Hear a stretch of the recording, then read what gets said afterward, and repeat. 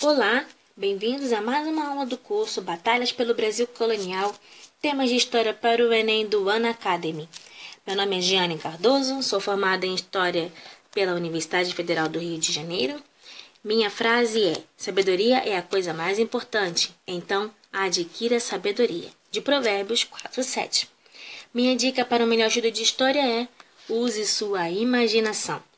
Na aula de hoje, vamos falar sobre os franceses e o Brasil, o interesse e os planos dos franceses no Brasil ao longo da época colonial.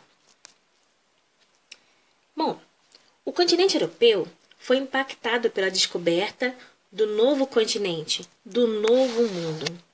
Isso influenciou as artes, a literatura, a política e a economia. É por isso que na aula de hoje a gente vai ter uma visão geral de como um desses países, a França, que sempre foi um país considerado o pioneiro da civilização, das artes, literatura, é, como ele foi impactado também o interesse dele por essa, pelo Brasil principalmente. Os franceses foram atraídos ao Brasil assim que os portugueses também foram atraídos, por causa do comércio para o Brasil por causa do comércio também de urucum, de animais exóticos como papagaios e macacos. Logo, para participar nesse comércio, seguiu-se um processo de mestiçagem envolvendo casamentos entre franceses e indígenas tupinambás. É interessante que os tupinambás não foram muito cacados portugueses, mas com os franceses eles resolveram fazer alianças. Essas alianças faziam com que os franceses tivessem possibilidades de comercializar com os tupinambás, sempre envolvendo casamentos. Esse processo chamava-se de cunhadismo. Os tupinambás apresentaram ao comércio francês o tabaco em forma de rapé, e isso tornou um negócio lucrativo que foi monopolizado pelo estado de Luís XVI no século XVII. Interessante, não é? Essa aliança entre franceses e indígenas tupinambás? Os tupinambás também foram levados para conhecer a França. Tanto em 1550 como em 1562, a cidade de Rouen fez uma festa onde indígenas brasileiros se apresentaram para a visita de Henrique II e Carlos IX. Eles simularam combate sob a água e a bordo de canoas. Bem interessante também essa presença indígena numa festa para reis da França, para vocês verem o quanto os franceses estavam, de certa forma, fascinados com esse novo mundo, com essa nova fonte de coisas exóticas. Os nativos americanos geralmente eram retratados juntos com animais e objetos considerados exóticos. Os temas das guerreiras amazonas fascinavam os artistas e os estudiosos franceses. As amazonas, as legendárias guerreiras é, indígenas que poderiam valer por muito mais do que um exército de homens, segundo as lendas da época.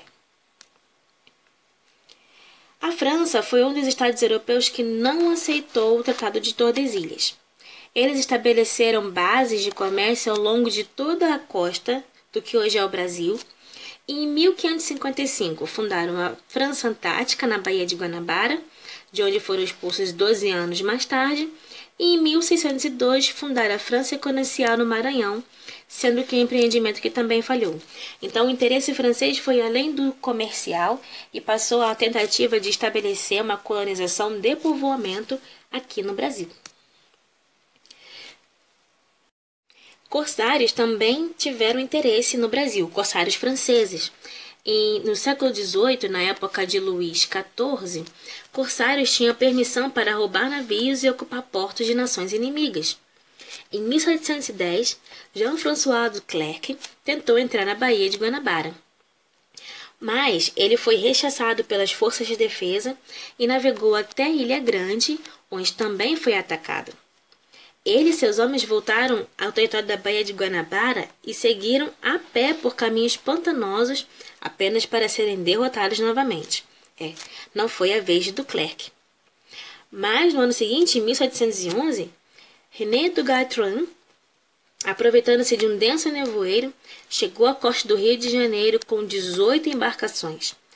Três mil homens desceram na Ilha das Cobras, onde hoje você tem o Arsenal da Marinha, na Baía de Guanabara, e ameaçaram bombardear a cidade se não pagassem o resgate. Sim, pessoal, esse corsário francês sequestrou o Rio de Janeiro. O, governo, o governador Francisco Castro Moraes pagou o resgate pelo sequestro do Rio de Janeiro com 610 mil cruzados em ouro, 100 caixas de açúcar e 200 cabeças de gado. Foi um sequestro bem caro, vocês não acham? Luís XV também fez planos de um povoamento no, Rio, no Brasil, só que ele queria, na verdade, tomar o Rio de Janeiro e estabelecer um vice-reinado. Essa ideia surgiu no contexto da Guerra dos Sete Anos, envolvendo as alianças em que Portugal foi necessariamente é, misturado, enfim.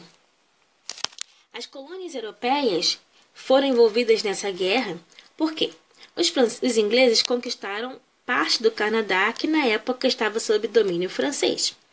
As tropas castelhanas de Buenos Aires invadiram Rio Grande e Santa Catarina por causa das, da Guerra dos, dos Sete Anos. Bom, já em 1660, 1762, mesmo se falando de negociações de paz, Luís XV viu o Rio de Janeiro como um trunfo nas negociações. O Rio de Janeiro possuía o principal porto de escoamento de ouro vindo das minas. Conquistar a cidade afetaria a Inglaterra, porque contrabandistas ingleses atuavam na região do Prata com a conivência de autoridades do Rio de Janeiro. Então, atacar o Rio de Janeiro e sufocar a fonte, o caminho do ouro até os ingleses lá na, no Rio da Prata, iria deixar a Inglaterra numa situação um pouco complicada. Então, Luís XV nomeou o conde Charles Henri de Tagne como comandante e estrategista e futuro vice-rei do Rio de Janeiro. Como o conde já havia estado no Rio de Janeiro com seus homens em 1757, para desespero dos cariocas, que ainda não haviam esquecido o sequestro de 1711, ele considerava fácil conquistar a cidade do Rio. Mas esse plano nunca foi controlado, nunca foi colocado em prática, porque a Guerra dos Sete Anos acabou antes. Esse aqui é o Conde de Etagne. Agora, Faça um exercício de imaginação histórica. Como seria se a França realmente tivesse estabelecido um vice-reino no Rio de Janeiro? Será que o Rio de Janeiro seria como hoje é a Guiana Francesa? Bom, como saber? Estou deixando para vocês as ideias de como seria um Rio de Janeiro francês. A minha bibliografia para essa aula foi a Revista de História da Biblioteca Nacional, ano 5, número 49, publicada em outubro de 2009. Por favor, deixem seu comentário. Obrigada por assistir essa aula e até a próxima.